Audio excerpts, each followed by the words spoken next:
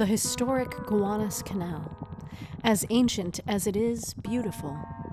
But this canal holds a dark secret.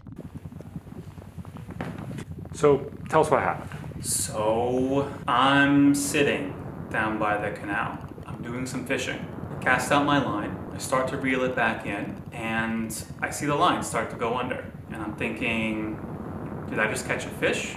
Because there are no fish on the Gowanus Canal. That's why I like to go down there. There's no fish. Fish freak me out, honestly. I feel this big bite on the line, like someone's gonna pull my arm out of its socket.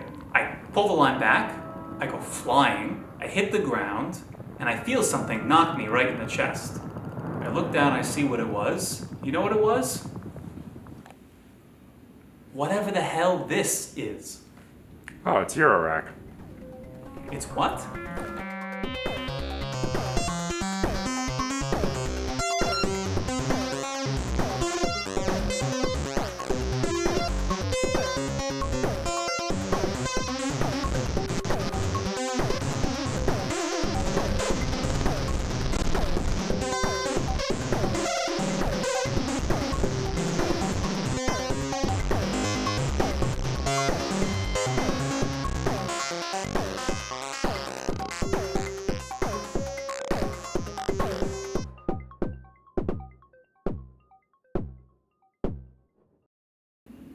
So it's not a fish.